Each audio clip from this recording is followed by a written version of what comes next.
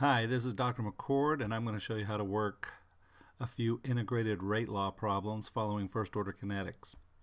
The problem itself is a little three-parter here. Uh, basically it says that dinitrogen pentoxide is going to decompose via first order kinetics with a rate constant of 0.16. I'm going to highlight that because we're going to need that for our calculations. It's going to want to know what the half-life is in seconds. It's also going to want to know what the concentration is going to be after two seconds. And I'm going to want to know that initial concentration. I'm going to use that two seconds in my calculations as well.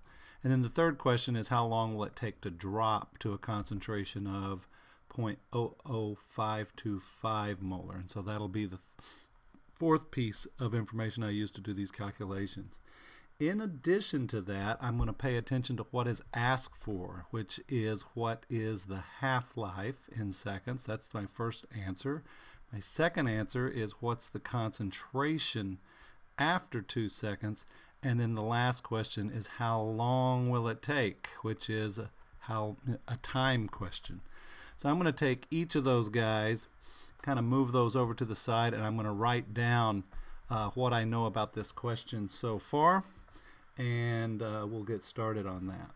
So the first thing I'll do is write down a reminder to myself that um, this is actually in 205 going to form products. The products are not important right now. Um, I will deal with those later when it's a different type of question, but right now I just know this is going forward in the way it says. Uh, it's also following first order kinetics.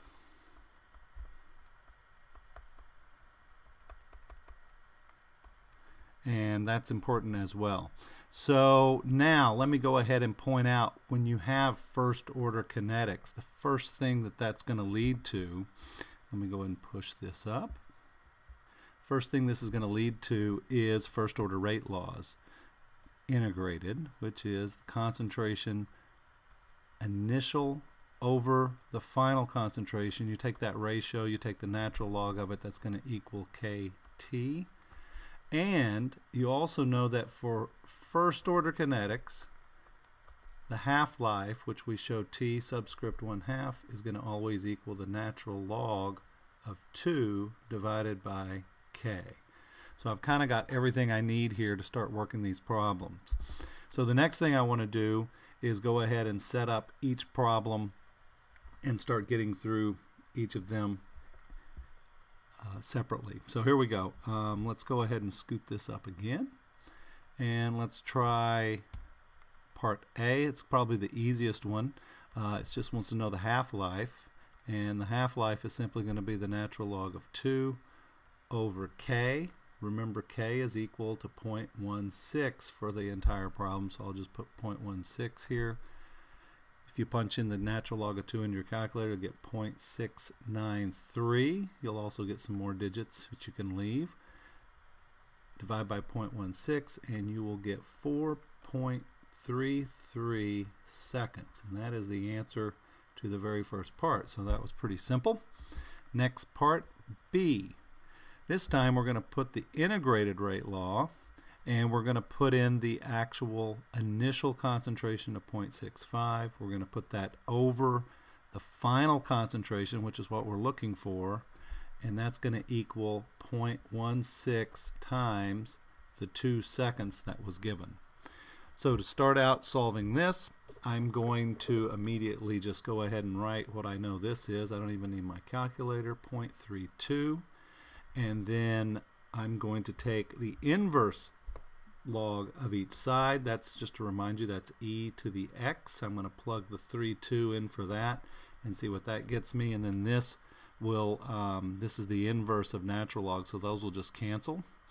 And so what I'll end up with is 0.65. Let me go ahead and scoot that up again. We're running off the page there. 0.65 over concentration of A equals, And when you raise e to the 0.32, you get 1.377. And then you can rearrange this such that your a is going to equal 0.65 divided by 1.377 and you'll get your final answer here which is 0.472 molar. And so that's what we fall to uh, when we run this for two seconds. Finally the last question and we'll be done is the following. Part C is we're going to write the same rate law again, put 0.65, but this time we actually have a final concentration, that's our target.